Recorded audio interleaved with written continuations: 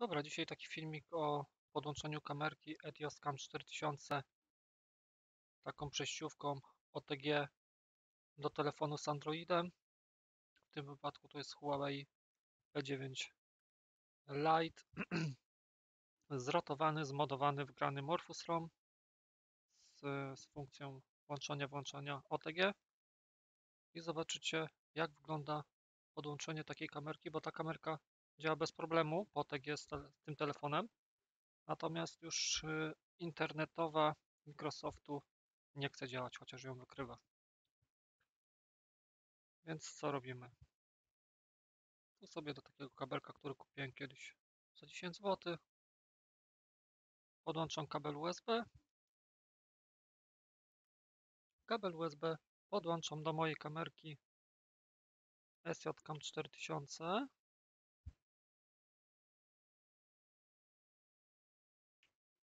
Ok, kabel jest już wszystko podłączone.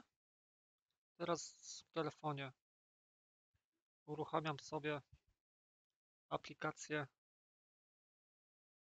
Staram się Wam to pokazać. Pchenom OTG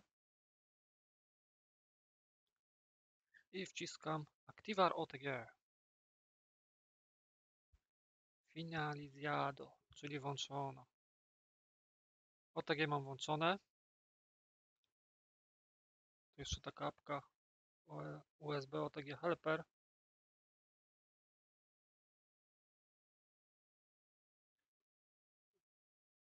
Takie informacje.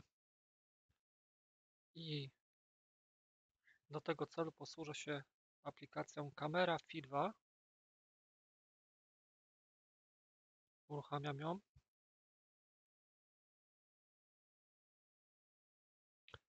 Camera Fi 2. Obraz jest teraz z telefonu. Co się stanie po podłączeniu? Po podłączeniu do telefonu skoczy mi tryb PC kamera. Muszę się przełączyć na PC kamera. PC kamera. Tutaj uruchamiam PC kamera. Teraz na telefonie skoczył mi Monit. Ap aplikacji kamera FI na dostęp do urządzenia USB. Używaj domyślnie, OK. OK. I teraz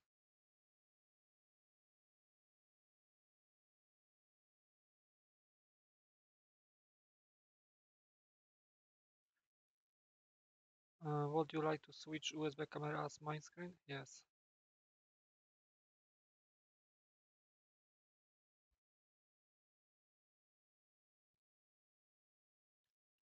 Jakiś błąd jest? Coś się obraz zawiesił? Dlaczego?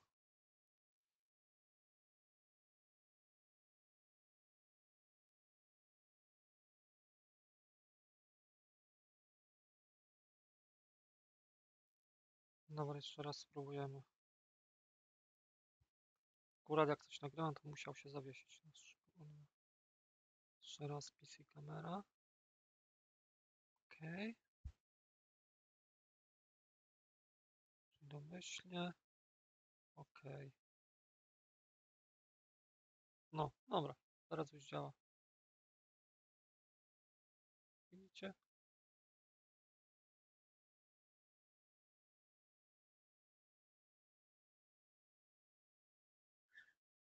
Nie wiem, może za długo czekałem na wybór i coś się tam pokićkało.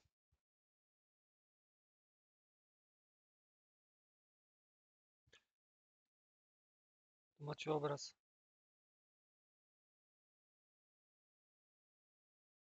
mojej kamerki.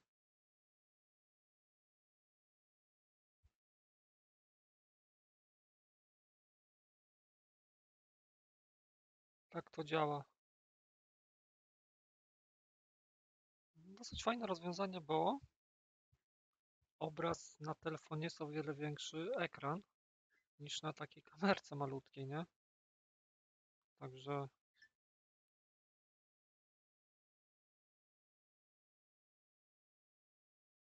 To jest fajny motyw.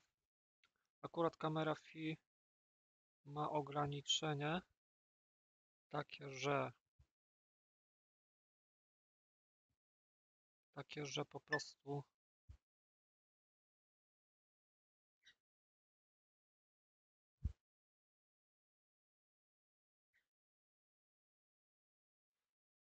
E, Tak, działa, działa?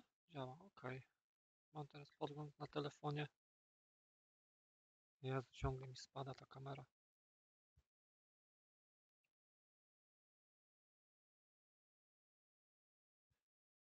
No i co tu możemy robić tą kamerką? Możemy nawet rysować sobie. Rysować. Natomiast kamera Fi 2 ma o tyle ten minus, że ta kamera e, SJK może przesyłać obraz w 1080p, czyli Full HD, a w tej aplikacji maksymalnie mogę wybrać tylko 720p. Żeby 1000 Full HD trzeba wykupić jakiś tam pakiet. Ale generalnie aplikacja jest zarąbista, fajna. I teraz ten obraz, który mam na telefonie, teoretycznie mógłbym wysłać na telewizor. Co spróbuję zrobić? Gdzie tu jest multi-ekran? Poszukiwanie urządzeń. Desktop? Aha, na, na desktop, czyli laptopa i LG telewizor. Zrobię LG.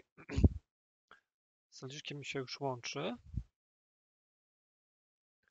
Łączy mi się z LG i zobaczę, czy będę miał na LG to, co mam na telefonie. Jeżeli tak, to będzie czat. Dokładnie.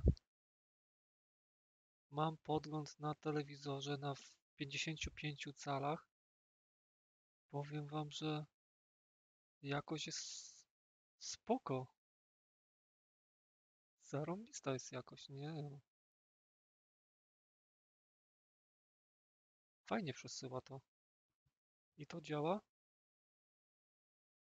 Szybko działa. Opóźnienie z rzędu, nie wiem, 20 milisekund. Jakby wam to pokazać, może ja zakryję kamerkę.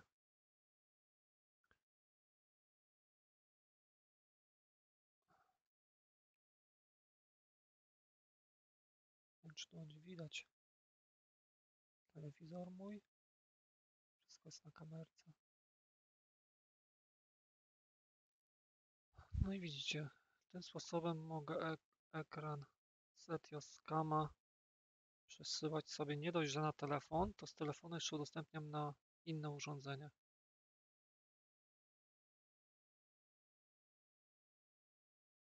No, no. I to w 720p idzie, tylko gdyby mieć taką super kamerkę jakąś fajną z 4K, to już może być ciekawie. No i tak to wygląda. Działać działa. Fajna sprawa. Sobie wyłączę przesuwanie multiekranu. Multiekran. Rozłącz. A jeszcze sprawdzę sobie, czy na laptopie mi to pójdzie. LG. Laptop.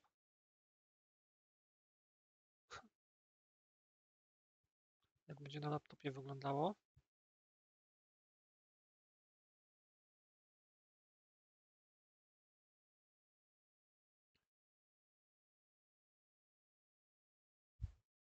Spoko. Superancko też. Rozłącz. Okay. Także można się fajnie bawić. Tyle jest fajnie, że Etioscamy wykrywa bez problemu w przypadku modelu 4000. Nie wiem jak z innymi wersjami lepszymi, które mają jeszcze lepsze matryce. No ale można podłączyć. I to było na tyle. Kończę nagrywanie.